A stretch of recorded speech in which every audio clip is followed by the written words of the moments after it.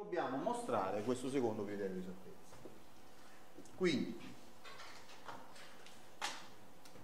uh, cosa dobbiamo fare? Allora, partiamo da x con 0. Qui abbiamo il nostro aperto stellato. Allora, io voglio arrivare a x. Cosa so? Che l'aperto è stellato, quindi ci posso andare dritto per dritto. Qual è uh, l'equazione del, la, la, parametrizzazione del segmento che parte da x con 0 e arriva fino a x è mm, x con 0 più t volte x meno x con 0 t appartiene a 0 1 oh guardate sto, sto famoso 0 per indicare il punto particolare. Io lo metto, c'è stato un periodo lo mettevo in basso, poi lo mettevo in alto perché se no si confonde con le coordinate, ora li metto stesso in basso, guardate le coordinate vanno da 1 a n, quindi 0 non si può confondere con una coordinata. Quando metto lo 0, pure che lo metto in basso, significa un punto fissato, ma un vettore, se ci metto x con i è la coordinata iesima, oppure metto x0 tra parentesi i, per dire la coordinata iesima di x con 0. Quindi su questo non ci si può sbagliare allora vedete che quando t è uguale a 0 sto in x con 0, quando t è uguale a 1 sono arrivato a x. E il verso è quello giusto. Ok? Oppure se preferite tx più 1 meno tx con 0 è la stessa cosa. Questa ormai è una parametrizzazione che abbiamo visto più volte. Allora, io vado a definire f di x come l'integrale esteso a φ di omega. Uh, scusate a sigma x con 0x vabbè nel senso di quella fila. Vabbè quindi non avevo scritto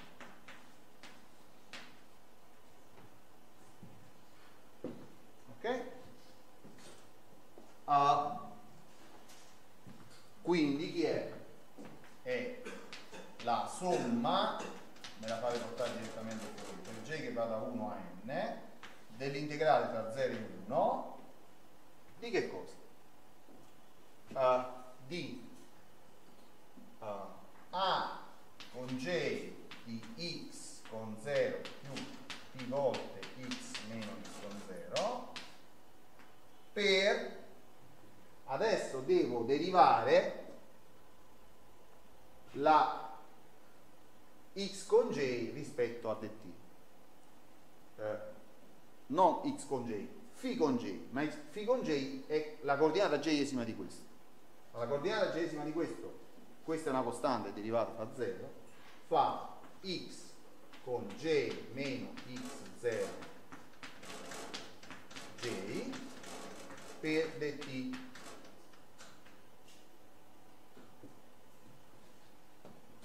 questa è mio, la mia F. Ok?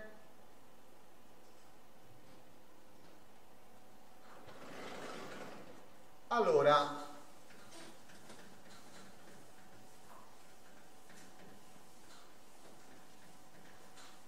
adesso io voglio fare def in dx con i calcolate in bis.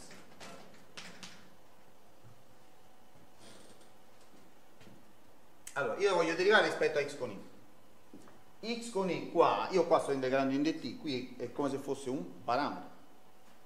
Quindi posso portare la derivata sotto il segno di integrale. Integrale, questo, la con j è una funzione continua, anzi pure c1, quindi uh, non, non c'è nessun problema nel derivare sotto il segno integrale non c'è dipendenza da x negli estremi di integrazione, quindi sto a posto. Posso derivare sotto il segno integrale.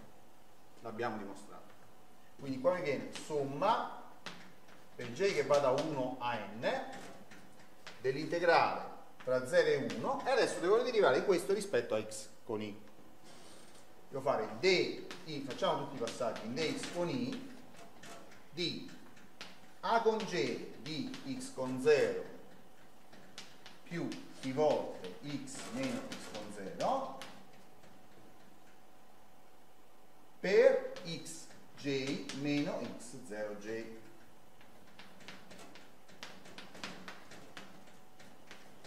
il tutto in dt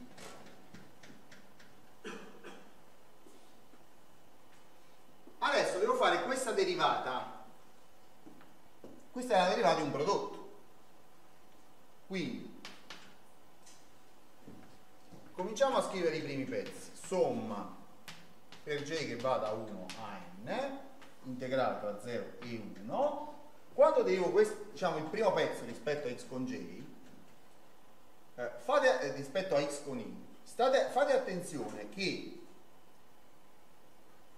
io devo derivare prima rispetto a questa variabile iesima e poi la variabile iesima rispetto a x con y. Poi ve lo faccio vedere meglio. Però cosa mi viene? mi viene t volte per la derivata di a con j rispetto a x con y calcolata in x con 0 più t volte x meno x con 0 e qua c'è x j meno x 0 j in del più, lascio il più così non, non si può fraintendere che mi sono dimenticato questo. Cioè ho derivato i pezzi di sinistra nella somma. Ora, ripeto, perché viene fuori questo t? Perché questo qua non è, qua non ci sta x con y, ci sta t con y. Quindi per derivare rispetto a x con y devo derivare rispetto a questa variabile e poi questa variabile rispetto a x con y mi porta fuori la t. Poi lo faccio vedere in maniera più precisa e rigorosa. Uh, no, qua la derivata rispetto a x con y, qua c'è x con j, perché qua c'è j, la somma era su j. Dall'altra parte devo derivare questo rispetto a x con y, ma mi, questo rispetto a x con y normalmente fa 0. Cioè quando x con j è diverso, j è diverso da y fa 0.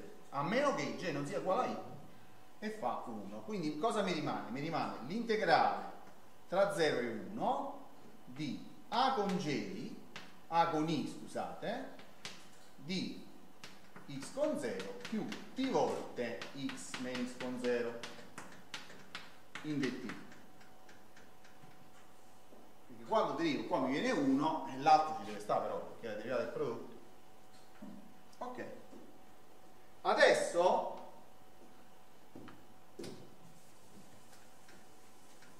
fatemi proseguire qua che forse ce lo facciamo a finire in una riga uguale uh, adesso adopero l'ipotesi di chiusura. L'ipotesi di chiusura che dice che se scambio questi indici la derivata è uguale.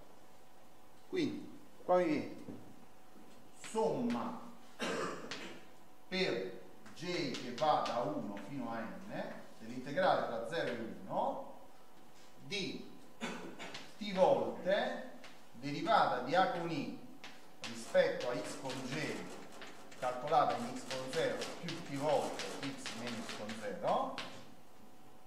per x j meno x 0 j in dt più l'integrale tra 0 e 1 di A con I di, di x con 0 più t volte x meno x con 0 quindi allora io dico che questo qua è eh, allora prendete questa funzione qua f grande di t uguale t volte per a con i di x con 0 più t volte x meno x con 0. Allora, andate a derivare. Quando derivo t mi viene questo. Quando derivo questo pezzo rispetto a t, devo prima derivare rispetto a ogni variabile e poi derivare questo rispetto a t, che è esattamente, eh, che è esattamente uh,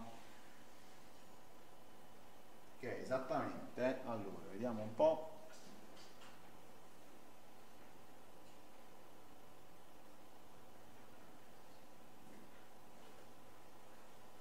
Sì. Che è quello che mi viene fuori, perché la t non l'ho derivato, si sta moltiplicando. Quando derivo questo, quando rispetto a t mi viene fuori questo pezzo qua. Ok? Quindi questo è l'integrale tra 0 e 1, poi anche questo lo faccio rivedere meglio, di f' di t in dt. Ma questo è uguale a f di 1 meno f di 0. Ma allora, quando io ci metto 0, qua c'è 0 e se ne va, quando ci metto 1 mi viene a con i di x.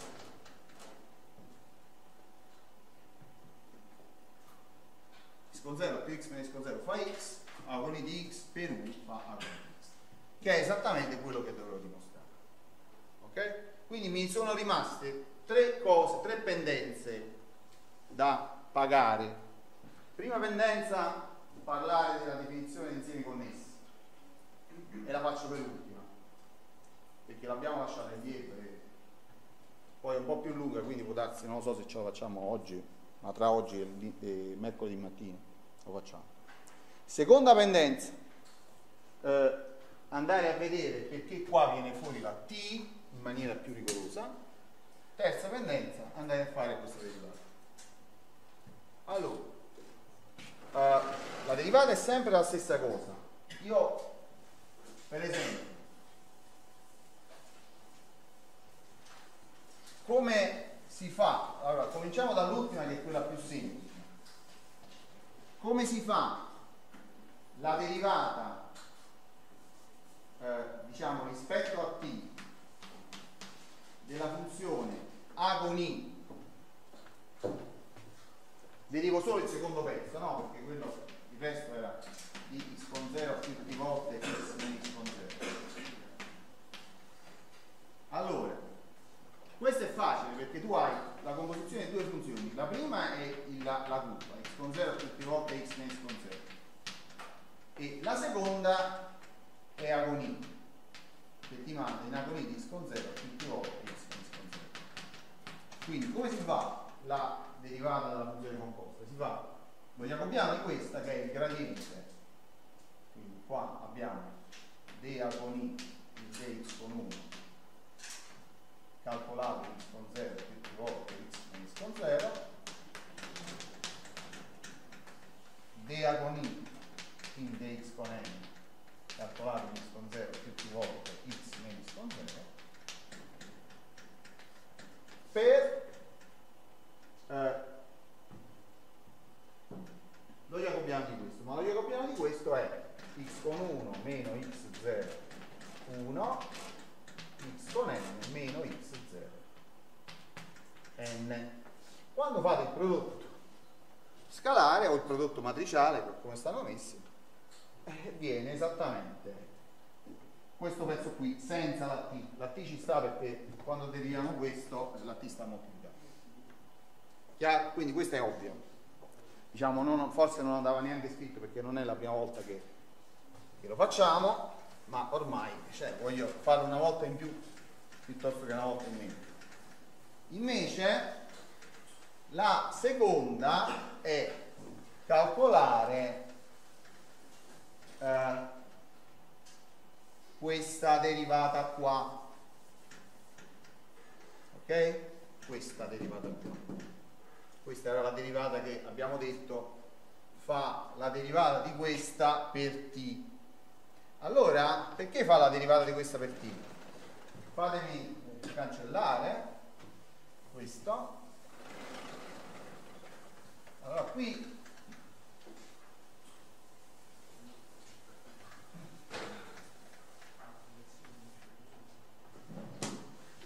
qual è la mia applicazione? La mia applicazione è quella che a x mi associa tx più 1 meno t x con 0 che sarebbe t x con 0 più t x meno x con 0 la stessa cosa e poi questo se preferite e poi quella che ci calcola a con j sopra quindi a con j di x più 1 meno t diciamo x con 0 più t volte Allora, lo jacobiano di questa è sempre quello di prima. Quindi lo jacobiano di questo è sempre dA con J in eh, io però voglio calcolare sì vabbè dx con 1 calcolato in x con 0 più px meno x con 0 dea con j in dx con n calcolato in x con 0 tutti volte x meno x con 0 questa applicazione qui però non va da R in Rn ma va da Rn in Rn quindi lo jacobiano di questa è una matrice. Questa matrice come è fatta? è t 0 eh sì, perché tu quando derivi questo rispetto a x con 1, che cosa ti viene? t rispetto a x con 2 ti viene 0 quindi è t volte la matrice identica quindi quando vai a fare la moltiplicazione praticamente otterrai un gradiente che sarà esattamente questo gradiente moltiplicato per t ma io cosa dovevo calcolare? quando devo andare a calcolare questa? Non devo andare a calcolare tutto il gradiente. Mi serve soltanto la componente iesima quindi la componente iesima non sarà altro che la derivata iesima moltiplicata per t. Chiaro? Adesso penso che sia limpido, non chiaro. Ok, abbiamo pagato la seconda eh, pendenza. Ah vabbè, ci sta il tempo. Quindi facciamo in tempo. Adesso andiamo a pagare l'ultima pendenza. Quindi, secondo criterio di esattezza, è stato finalmente dimostrato.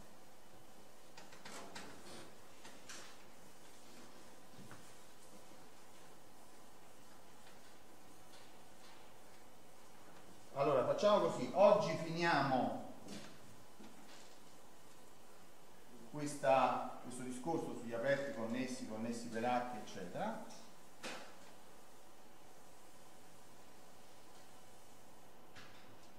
Uh, e mercoledì facciamo tutta, non so se tutta la settimana prossima, sicuramente tutto mercoledì, perché ogni volta rinviando, rinviando, gli esercizi poi si fanno sempre a, a singhiozzo. Faremo tutto mercoledì, faremo eh, esercizi, faremo tre ore di esercizi. Ok, perché abbiamo accumulato un po' di esercizi da fare sugli integrali doppi e tripli ancora, perché ne abbiamo fatti ben pochi, e poi adesso ci abbiamo da fare tutti gli integrali curvilinei. Di prima e seconda specie. Allora, che cos'è un aperto connesso?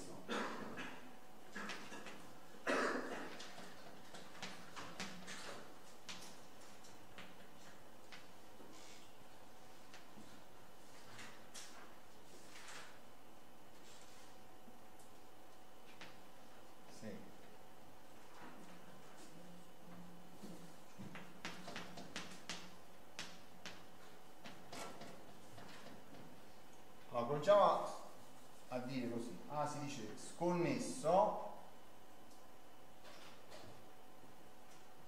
Sesto se esistono A con 1 A con 2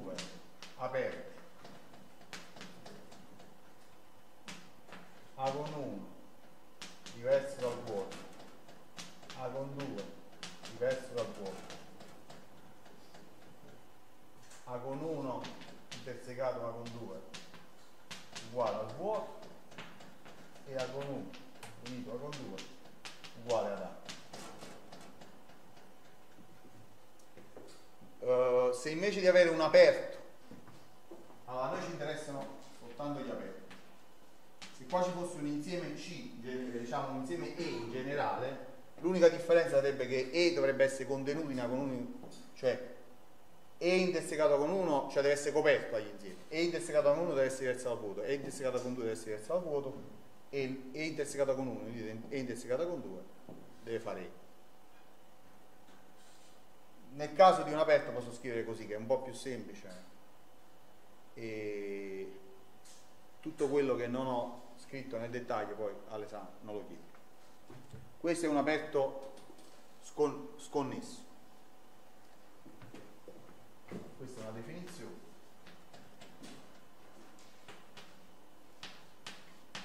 A ah, si dice scon connesso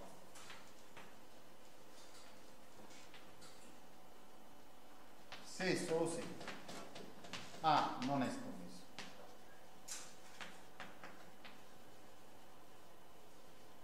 Allora questi, vedete, sono i due pezzi. Sono aperti, non vuoti, disgiunti, fanno A e sono staccati. Quindi un aperto fatto così è sconnesso. Se non è vero questo,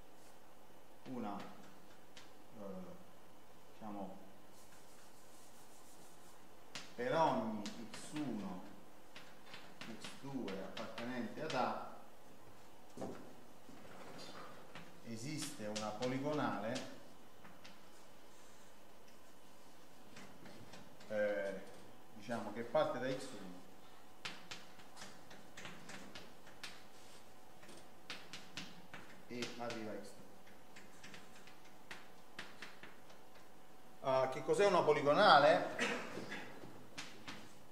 definizione una curva φ appartenente alle curve che partono da x1 e arrivano a x2 si dice poligonale ci possiamo mettere pure con lati eh, paralleli agli assi coordinati se e solo se per definizione φ è uguale a φ1 unito unito φk eh, il segno di giusta posizione significa che la prima curva vada allora, allora φk eh, è eh, diciamo di t è del tipo eh, x eh, diciamo un certo punto chiamiamolo eh, pk allora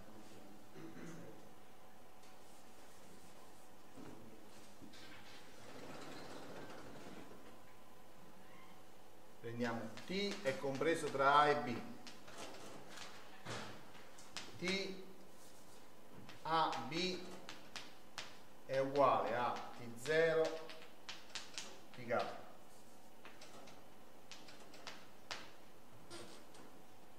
Fk di T è del tipo Fk di T con K-1 più t volte uh, meno più t meno tk meno 1 che moltiplica un certo e con j. E con j jr potete scegliere come vi pare. Che cosa significa questo? faccio prima fare la figura. Significa che io quando parto da T con 0 a T con 1 scelgo una direzione di un asse coordinato e mi muovo per esempio in R2 abbiamo solo due direzioni orizzontale e verticale poi mi muovo in verticale poi mi muovo di nuovo orizzontale poi mi muovo verticale poi mi muovo capite? qua purtroppo devo alternare sempre orizzontale e verticale, però se, se le direzioni fossero tre posso fare così, così, così. E alla fine parto da x con 1 eh, e arrivo a x con 2. Cioè x con 1 e x con 2 forse non sono x e x', chiamiamoli meglio, perché se no sembrano veramente stavolta le coordinate. Parto da x e arrivo x. Allora, mettiamo che il mio insieme era fatto così.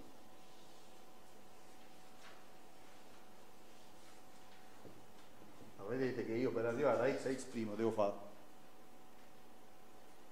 questo percorso qua posso fare questo percorso qua, non è che lo devo fare, posso farne anche un altro. Uh, allora, noi ci, poligonale sarebbe con molti lati, uh, in realtà però per non appesantire la notazione non l'abbiamo scritto, però qua l'abbiamo scritto. Uh, noi vogliamo che questi lati siano paralleli a un asse, ogni lato sia parallelo a un asse coordinato, perché così eh, siamo sicuri che cioè più semplici di questo non ci stanno come curve no? io faccio dei è chiaro che sono poi questo simbolo di giusta posizione significa che la curva seguente inizia da dove è finita quella precedente e se ci fate caso anche come t l'insieme su cui è definita questa qua sarà t compreso tra tk-1 e tk poi per la, quando eh, scusate eh, qua ho sbagliato ho messo K qua devo mettere H H H H H H e H va da 1 a K. Questo J dipende da H io ovviamente quando vado a fare il pezzetto archesimo mi posso muovere come mi pare ok? stavolta stava scritto bene Uh, in questo caso lo dico connesso per poligonali, cioè io per arrivare, eh, per esempio, mettiamola così, le eh, città, diciamo, eh, le strade americane, spesso le strade cittadine, vi ricordate il fatto che le strade quasi tutte le cittadine americane hanno una pianta fatta così? E quelle sono connesse per poligonali in quel senso. E tu vai dritto, orizzontale, girare, orizzontale, girare Chiaro? Poi vabbè, sta quella diagonale, ma tu puoi sempre andare da un posto all'altro in orizzontale verticale, trascurando quelle poche strade. Ok. Allora, eh, in realtà quello che mi interessa è stabilire che un aperto è connesso in Rn se solo se è connesso per poligonale. Questo perché ci serviva? Se vi ricordate il primo criterio di esattezza, ci serviva a dire l'aperto è connesso, io fino a x ci posso arrivare, io ho fatto una curva genetica, però a questo punto ci posso arrivare con una poligonale. Poi, quando sto in un intorno di x, poi ho detto mi muovo da x a x più t con i, dritto per dritto. Ma questo quando lo posso fare? In un piccolo intorno, che sicuramente se prendo un piccolo, siccome l'insieme è aperto, se prendo un intorno abbastanza piccolo, la sferetta di raggio T è contenuta in A e quindi mi posso muovere dritto per dritto.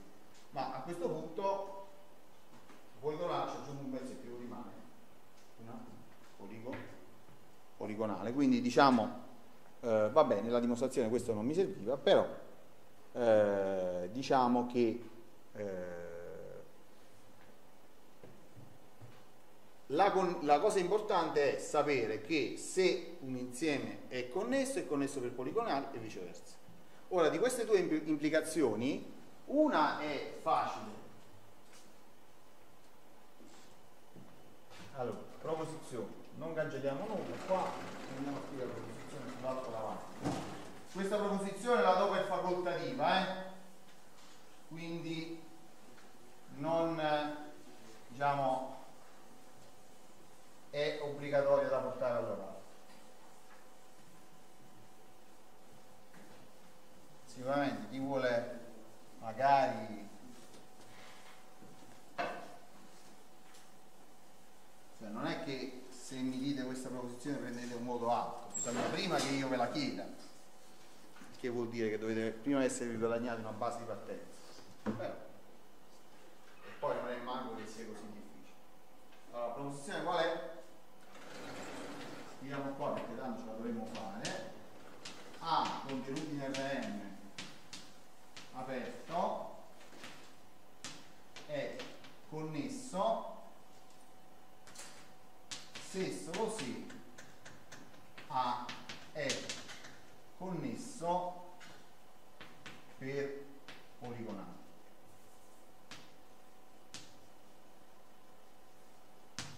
Ok. Allora, la implicazione facile è questa qui. Uh, se un insieme è connesso uh, per uh, sì, che se un insieme è connesso per poligonali è anche connesso. Allora, come funziona? Supponiamo per assurdo A non sconnesso. A uguale a 1 unito a 2, eccetera. Prendiamo x in A1 e x' in A2. Noi sappiamo che esiste una poligonale che appartiene alle poligonali che congiungono x a x'.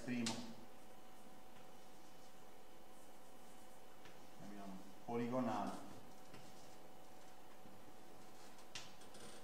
che congiungono x a x', di quel tipo che abbiamo detto là. Allora, uh, quindi questa poligonale chiamiamola φ, allora abbiamo φ di A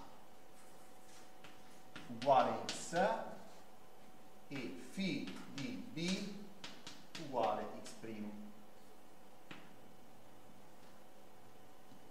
Allora, eh, se noi andiamo a vedere, consideriamo l'insieme dei x, dei, delle t, tali che φ di t appartiene da 1.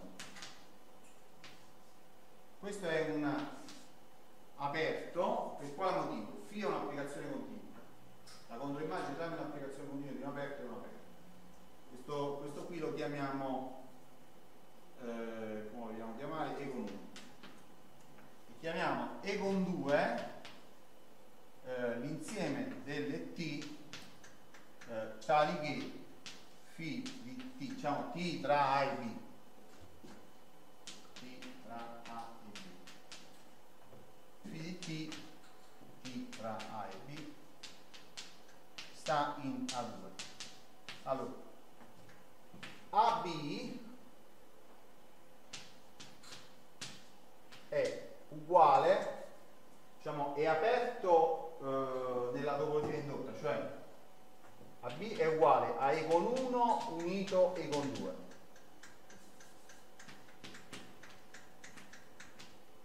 E con 1 ed E con 2 non sono vuoti, e, eh, e con 1 e, e con 2 sono aperti nella topologia indotta da R su AB cioè sarebbe a dire R c'è una topologia che abbiamo studiato l'anno scorso quando prendo l'intervallo chiuso AB chi sono gli aperti di AB? sono le intersezioni di aperti di R con eh, l'insieme AB. Modulo questo, questi sono due aperti non vuoti, disgiunti, che danno tutto AB, siccome sto nello spazio AB, cioè non sto considerando tutto R, ma sto considerando come spazio metrico AB, perché se sono spazio metrico, se uno spazio metrico è pure uno spazio metrico con la topologia indotta, e quindi uh, AB è, sappiamo che è connesso, mentre eh, diciamo, l'unione di questi due eh, dice che cioè, A bis è disconnesso perché sono non vuoti disgiunti che fanno questo. Uh, a questo punto uh, questo mi dice che se è connesso col poligonale. Ok? Non mi serve più preciso di così, oppure se qualcuno vuole dei dettagli ulteriori, poi glieli posso dare. Diciamo.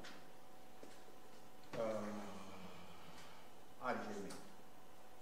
Perché altrimenti dobbiamo andare a parlare troppo di matematica. Diciamo, quello che mi interessa invece è l'implicazione opposta. L'implicazione opposta è un po' più complicata. Diciamo, questa è semplice nella sostanza, è complicata nella forma perché richiede, richiederebbe la precisazione di qualche concetto di matematica oppure richiede che dia delle definizioni ad hoc. Cioè in un modo o in un modo o nell'altro dovrei perdere 10 minuti. E sarebbero quasi comunque buttati. Ad hoc sarebbero 10 minuti sprecati solo per questo argomento e se invece volessi fare un discorso generale sarebbero 10 minuti buttati perché diciamo eh, poi quell'argomento non verrebbe sviluppato ulteriormente. Invece mi interessa questa, questa applicazione. Allora, uh, prendiamo x con 0 appartenenti ad A. Allora io prendo A con 1 l'insieme degli x tale che esiste una poligonale che va, parte da x con 0 e arriva a x e, uh, degli x appartenenti ad A e prendo A con 2 l'insieme degli x appartenenti ad A tale che esiste, non esiste una poligonale che parte da x con 0 e arriva fino a x eh, del tipo di primo. Ok? Ok. Allora, notiamo che A con 1 e A con 2 allora, A con 1 unito A con 2 fa tutto A perché la poligonale o ci sta o non ci sta. Poi a con 1 è diverso dal vuoto. E poi quello che ci manca da dimostrare è che A con 1 e A con 2 sono aperti. Perché sono aperti? Beh, guardate, se io posso arrivare fino a x con una poligonale, eh, io posso muovermi da x in tutte le direzioni, aggiungendo un pezzetto di poligonale. Quindi posso chiaramente arrivare in un intorno sferico di x. Se io prendo un intorno sferico di x abbastanza piccolo, in maniera tale da rimanere dentro A, parto da x in tutte le direzioni, diciamo x è come il centro della sfera, va bene come centro sfera, quello è un insieme stellato rispetto al centro della sfera. Quindi, aggiungendo, uh, sì vabbè, uno dice ma qua in diagonale come ci va? E ci vado prima in orizzontale e poi in verticale, oppure se stiamo in dimensione n devo fare n trattino, ma in ogni caso ci posso arrivare. Uh, per cui A con 1, questo insieme qua è aperto, cioè se posso arrivare a x, posso arrivare tutto in un intorno sferico di x. E quindi questo insieme è aperto. Diciamo, gli x che posso raggiungere sono tutti interni, quindi sono ma anche quelli che non posso raggiungere sono interni, perché se io non posso raggiungere x, eh, non posso raggiungere neanche un punto di una sferetta con, diciamo che allora, se x sta in A, prendo una sferetta che sta ancora in A. Allora, questa è A. Allora, se arrivassi a un punto della sferetta, faccio percorso che va dal centro della sferetta alla sferetta, a questo punto al contrario.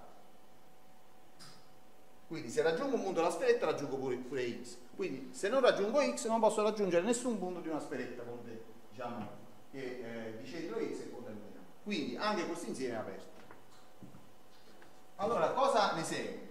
Ne segue che io ho trovato due aperti disgiunti, perché quelli sono disgiunti per posizione. L'unione fa e il primo non è vuoto. Se il secondo non fosse vuoto, l'aperto sarebbe sconnesso. Se vi ricordate la definizione di sconnessione, è unione di due aperti non vuoti e disgiunti eh, che è unione di due aperti e non due disgiunti. Adesso, unione di due aperti, uno è vuoto, sono disgiunti, qual è l'unica possibilità che rimane? Che A con 2 è vuoto. Perché se non fosse vuoto, l'ipotesi sarebbe violata, cioè che l'insieme di partenza fosse connesso, sarebbe violato. Ok?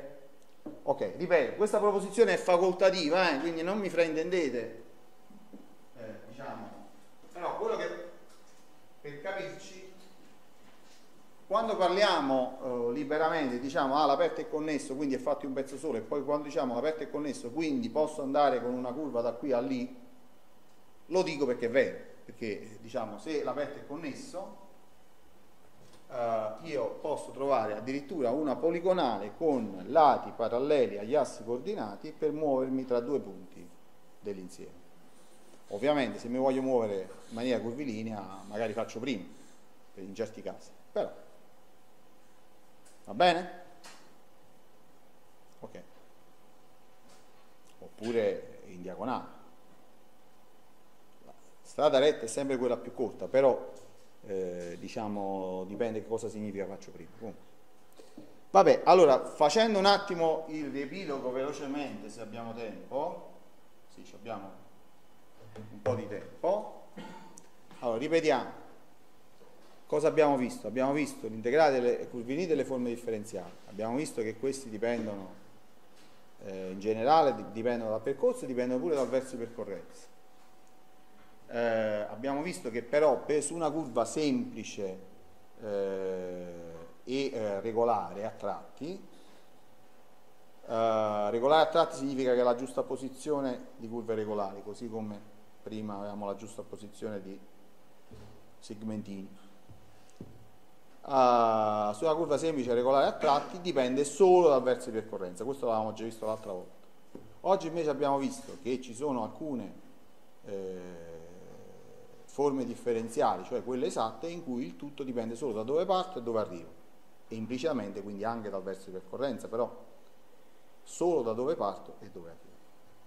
Queste si chiamano forme differenziali esatte, una condizione eh, necessaria perché una forma differenziale esatta è che l'integrale lungo ogni cammino chiuso sia nullo, questa condizione è anche sufficiente se l'aperto è connesso, perché altrimenti se no semplicemente il cammino non c'è proprio tra due pezzi sconnessi, no? come lo congiungo? Un punto che sta qua con un punto che sta là, nelle due componenti connesse, diverse. Poi abbiamo detto che eh, una, se la forma differenziale di classe C1, una condizione necessaria per essere esatta è che la forma differenziale sia chiusa, questa condizione non è sufficiente, però la non sufficienza non dipende da uh, problemi che le forme differenziali ehm, chiuse non sono esatte moralmente, ma dipende da un problema sulla geometria del dominio. Cioè, se eh, la forma differenziale è di classe C1 ed è chiusa e l'aperto non ha buchi, si, eh, in matematica si dice semplicemente connesso, allora la forma differenziale è esatta. Noi però l'abbiamo dimostrato in un'ipotesi un po' più forte che l'aperto sia stellato. Quindi noi la definizione di buco non l'abbiamo data proprio e quindi sappiamo che se l'aperto è stellato, cioè esiste un punto dal quale unendo, posso unire tutti gli altri punti del mio aperto con questo punto tramite il segmento che li congiunge, eh, cioè dritto per dritto, allora l'aperto si dice stellato. Mm, su questi aperti sicuramente il teorema vale e quindi questi aperti non hanno buchi, infatti moralmente abbiamo fa fatto capire che questi aperti buchi non ne, non ne hanno. Detto questo, ci rimane da fare una caterva di esercizi. Eh? Ora abbiamo esercizi, ripeto, integrali doppi, integrali tripli, integrali doppi qualcuno abbiamo fatto, ma non tanti. Integrali doppi, integrali tripli, integrali curvini di prima e seconda specie. Qualche esercizio, ripeto, l'abbiamo già fatto, però ne dobbiamo fare molti di più. Per oggi basta.